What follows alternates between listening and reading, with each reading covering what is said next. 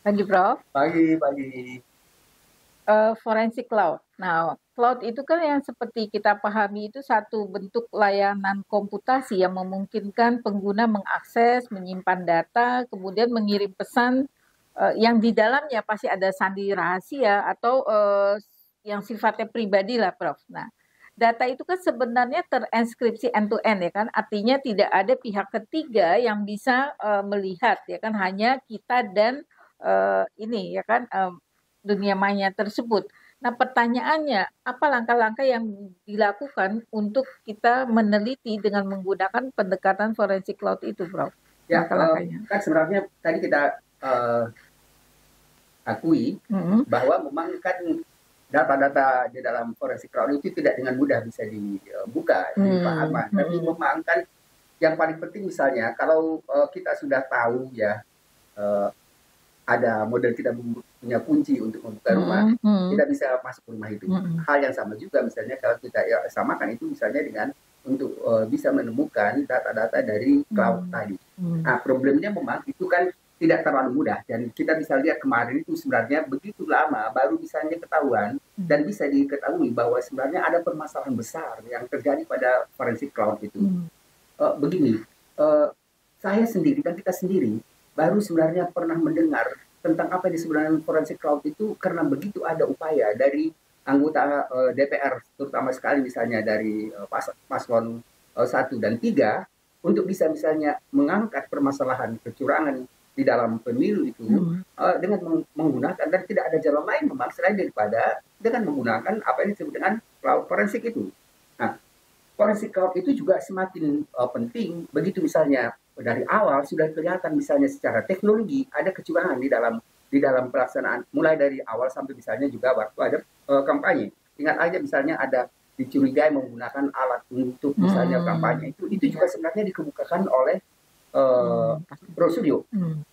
Dan kemudian lebih apalagi lebih jelas lagi ada pelanggaran itu ketika misalnya masuk pada uh, hasil pemilu mulai dari awal itu akhirnya sekarang hampir semua uh, orang terutama sekali hmm. dari pihak uh, nol hmm. uh, bukan 02 hmm. itu semuanya mengakui bahwa ini sebenarnya memang terjadi suatu pelanggaran yang sifatnya uh, terstruktur, hmm. uh, sistematis dan hmm. masif. Hmm. Dan itu sebenarnya semakin mudah untuk bisa membuktikan ketidakbenaran itu, ya kecurangan itu dengan menggunakan cloud itu.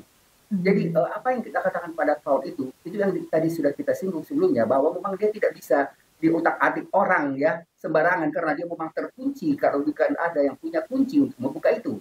Jadi rekam jejak ini kan tidak bisa dimanipulasi, Bro. Tidak bisa dimanipulasi. Nah, iya. nah, tidak bisa dimanipulasi. Kan bagaimanapun beberapa kali misalnya dikatakan oleh para ahli uh, forensik itu, hmm. berapa kali pun mereka mencoba untuk mem memanipulasi dengan hmm. mencoba hmm. akhirnya tidak ada seperti kegiatan apalagi, hmm. tapi tetap hmm. juga bisa mereka hmm.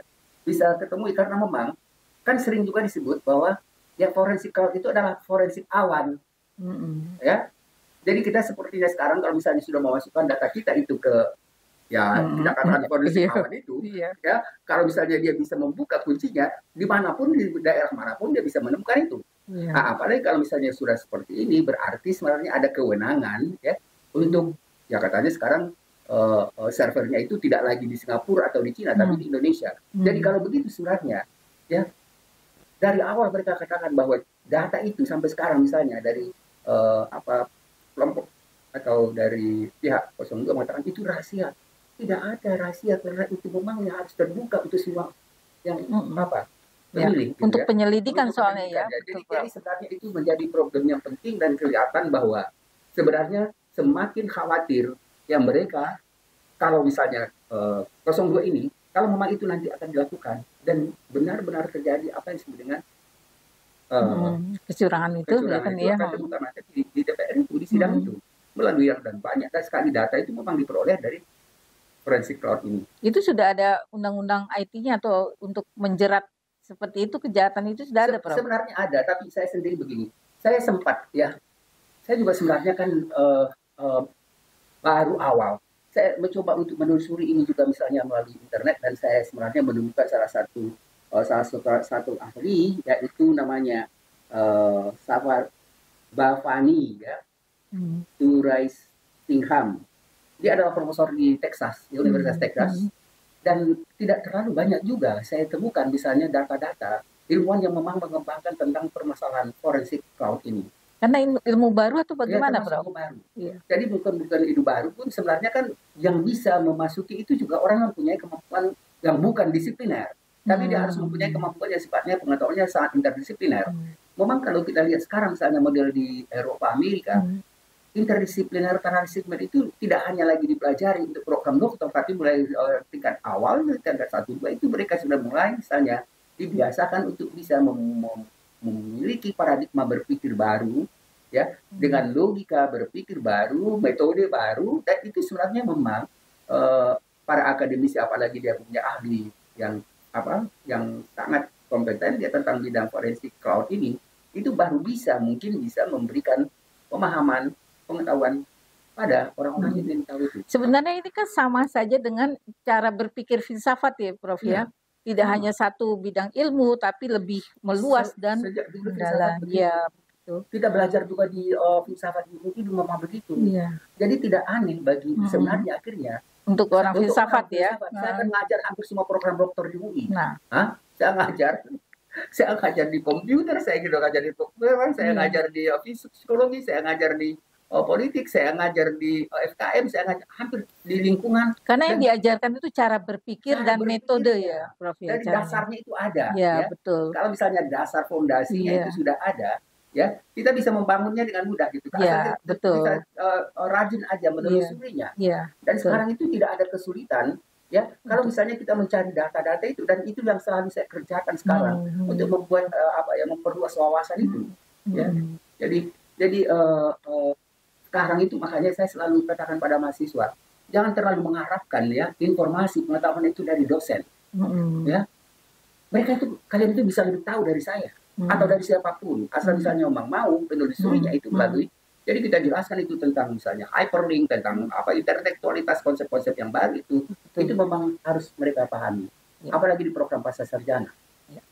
Uh, apa strategi terbaik untuk mengembangkan kapasitas uh, forensik cloud ini, Prof? Untuk kan kita tahu sekarang teknologi dan apa namanya ancaman keamanan itu juga terus berubah dan makin canggih nih, Bro. Ya. Strateginya bagaimana, Bro? Ya, begini. Uh, saya sebenarnya tadi saya singgung sedikit ya tentang uh, salah seorang profesor hmm. ya di Texas. Ya, hmm. saya sebenarnya lagi menelusuri juga hmm. untuk memperluas pemahaman tentang forensik ini karena saya pikir memang baik kita sebagai mengajar saya sekarang tidak begitu terlibat sebenarnya untuk forensik karena hmm. saya pikir saya lebih banyak mencoba untuk secara bebas memperluas wawasan hmm. melalui online. Hmm. Jadi begini, uh, memang karena uh, ini masih baru ya belum banyak begitu dikenal tentang hmm. forensik cloud hmm. ini, hmm. memang dia mem memerlukan sebenarnya ke, uh, keinginan untuk memperluas wawasan itu. Berkolaborasi, Berkolaborasi dengan banyak ini dengan banyak orang dan juga banyak ilmu pengetahuan. Yeah, ya betul. harus memperluas wawasan ya. Yeah. Jadi yang pertama itu misalnya ada harus ada upaya misalnya melakukan pendidikan dan pelatihan. Hmm. Saya agak agak agak ragu ya kalau misalnya untuk uh, cloud forensik.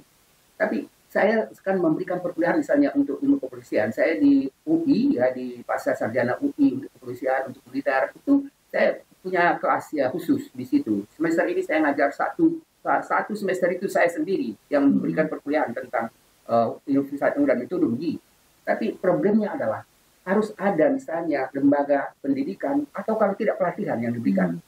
Saya sering misalnya di polisi-polisi itu teman-teman polisi saya katakan bagaimana dan sekarang ada satu uh, tesis yang saya lagi bimbing tentang permasalahan memang uh, cybercrime gitu ya. Hmm. Saya bilang bagaimana kesiapannya. Lalu dia sekarang lagi melakukan penelitian tentang bagaimana misalnya hambatan dan kekurangan yang terjadi pada lembaga uh, apa forensik kriminal di kepolisian.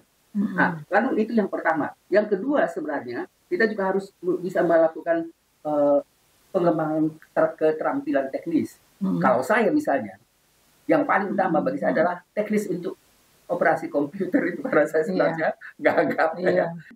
Memang jadi, tugasnya untuk berpikir ya, Prof, ya, bukan administratif. Ya, ya, itu yang repotnya. Dan yang berikutnya ketika harus ada uh, kolaborasi ya, uh, kolaborasi. Misalnya kan begini, kalau misalnya tidak ada di UI, kemudian ada di ITB hmm. atau misalnya di UGM, kita bisa bekerja sama. Iya. Gitu. Sekarang kampus Merdeka kan Prof dengan siapa bisa. Itu betul. Sudah tradisi yang lama, misalnya betul. dilakukan itu di Eropa. Oh, iya. Ya, saya dulu pernah sedikit sebentar lah di Eropa waktu itu uh, riset hmm. saya pergi ke mana aja ya mereka itu dengan senang membantu kita yeah. untuk misalnya menelusuri yeah. teks-teks yang kita perlukan. Yeah, betul. Ah, dan saya pikir sebenarnya untuk Indonesia pun sekarang perlu. Makanya sekarang kita berencana untuk membuat perkuliahan ini secara terbuka untuk semua. Tapi ya. apa tidak ada dampak misalnya dengan adanya forensik cloud tiba-tiba nanti ada orang berpikir untuk menjadi hacker cloud? Oh nggak bisa. Nggak bisa itu. Nggak selalu mudah kan? Dan yeah. kalau dia nggak punya kunci, nggak punya keahlian. Ya. Yeah.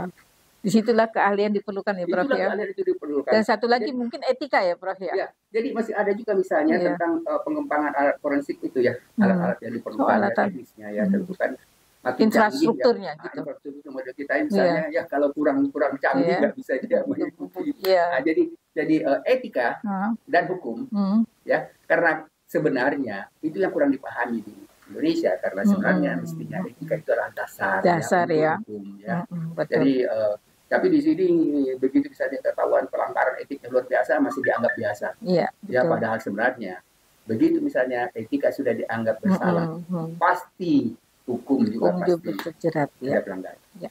Baik, terima kasih Prof.